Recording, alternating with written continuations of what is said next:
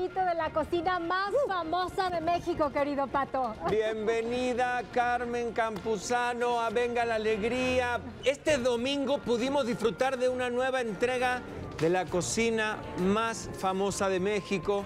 Y, ay, ¿por qué Carmen? ¿Por qué nos hicieron viajar al pasado en esta entrega de este domingo? Así es. Qué lástima tenerte en esta ocasión, pero vamos a ver todo lo sucedido, Carmen, y regresamos para darte la bienvenida como te mereces. Vean esto.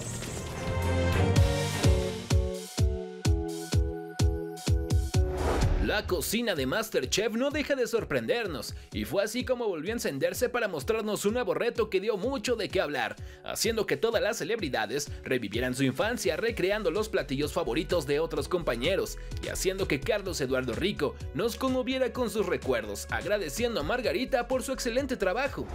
Y a mí me gustaba que hiciera, pero no por la sopa. Las cáscaras, las guardaba toda la cáscara de papa y las hacía sazonadas en taquitos. Muy bien. Y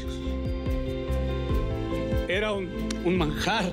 Mi esposa hace como un año me hizo esas cáscaras de papa. No las pido porque cuando me las dio, la mordí. Me dijo, pues, ¿a qué sabe? Y le dije, a infancia. Ahorita aquí. Pero te volaste la barda con otra cosa. Que a lo mejor a los chefs no les gusta. A mí, para mí, acabo de ver a mi madre, que está en Guadalajara, jefa de ustedes. Ver a mi abuela que está en el cielo y abrazar a mi padre. Muchas gracias, Margarita.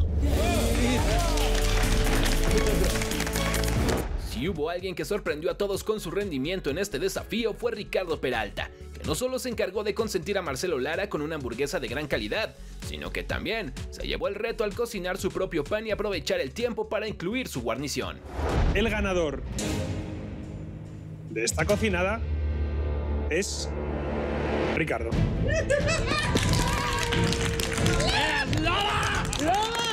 Gracias. Te puedes quitar el delantal y subir a la barrera. Muchas gracias, chef. Gracias, chef. Carmen, hermana, ya soy bicampeona como tú, ¿eh? Agárrense porque ya llegamos. El segundo reto trajo de vuelta algunas de las personalidades más queridas de MasterChef Junior, como el pequeño Abel, Esaú, Zoé, Alan y Sarita, quienes tuvieron que guiar a sus equipos para intentar replicar un platillo que probaron a ciegas. Y la verdad es que en la mayoría de los casos terminó siendo mejor que el original, aunque el equipo de Sarita no la pasó nada bien. Es una auténtica cocinera. No está jugando. Sí. Está cocinando de verdad. No jugasteis a nada. Estaba cocinando. Hasta el punto que os tuvo que llamar al orden y deciros cómo teníais que hacer las cosas. Todo eso me va a hacer crecer con esas llamadas de atención. A mí se me hace un gran plato, está muy bien, pero hay que saber escuchar.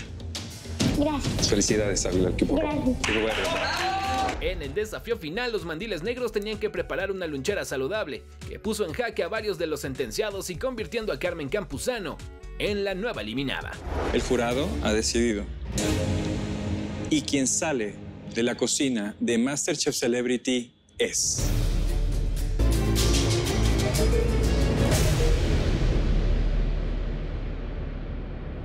Eres tú, Carmen. Eres tú. Me voy ganando.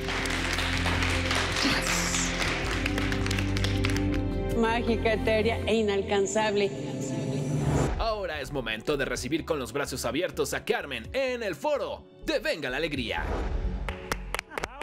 Carmen Campuzano, ¿cómo sufrimos contigo anoche? No queríamos que te fueras de la cocina. Ay, yo les agradezco de verdad todo su apoyo, su cariño, su empatía, su solidaridad a todos.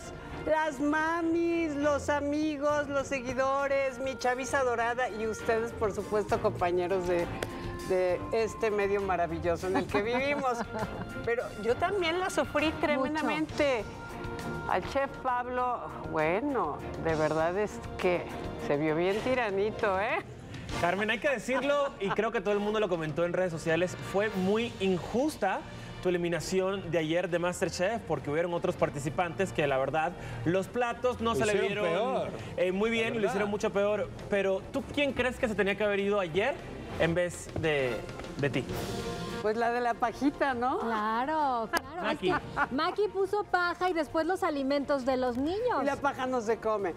Pero eh, yo creo que ya me había echado el ojo el, chef Pablo para, para cortarme las alitas de Masterchef. Sí. em, y bueno, fue toda una, una gran experiencia. Carmen, nos conmoviste muchísimo por la parte, te regañaban mucho porque ponías las cosas en desorden o ponías mucho, tu sabor era muy bueno. Sí. Y ayer hablabas del problema que tienes en una de tus manos.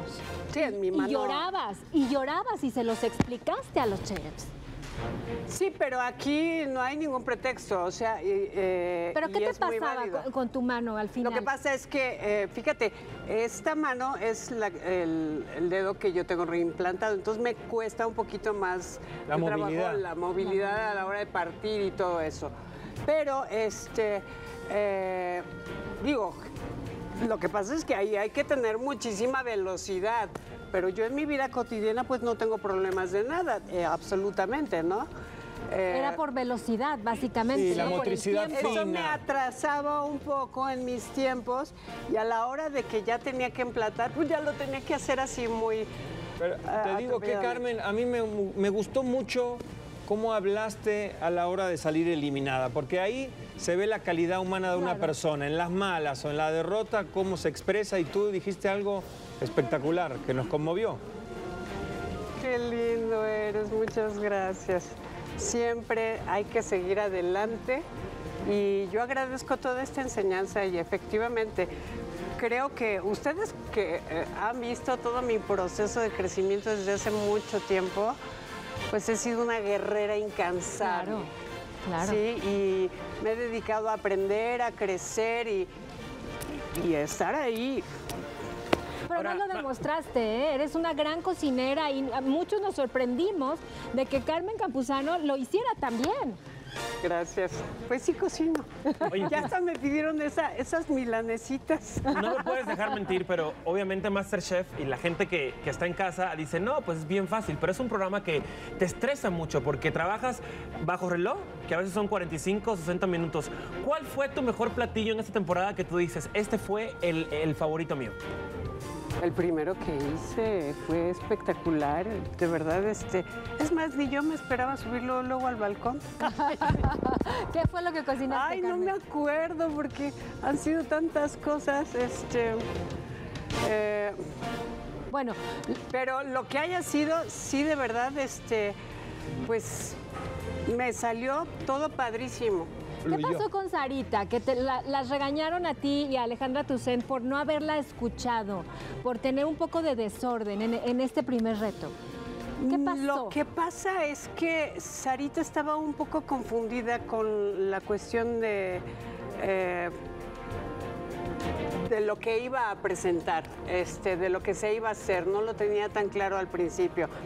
La que después estuvo con ella en, en la selección de verduras y todo esto y de la carne fue Ale y escogió una carne muy dura.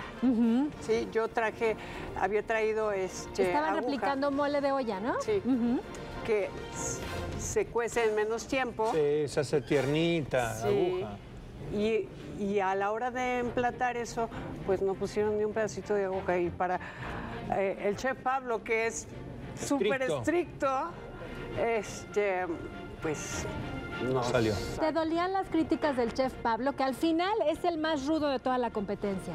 Fíjate que esta última sí fue, creo que eh, demasiado subida, sí, subida de, de Tono. tono. Pero bueno, yo soy una gente que eh, pues tengo una templanza y un respeto por la gente y entonces solo aprendo, sí, y lo que sigue. Siento que el chef Pablo ha ido como encrechendo, ¿no? Como que empezó como buena onda, ligero, y ya ayer lo vi, bueno, en el episodio anterior de pasó lo de Maki. Sí. Está desatado. Vamos a ver cómo termina esta, y ya en las redes hasta lo han incendiado al pobre. Sí, ya le pusieron cuernos de diablo. Y... Ahora que estás vi, fuera. Carmen, ¿quién es tu gallo dentro de la cocina más famosa de México antes de despedir? ¿Quién es mi gallo? Pues Lorena Herrera, eh, también está Ale Ábalos,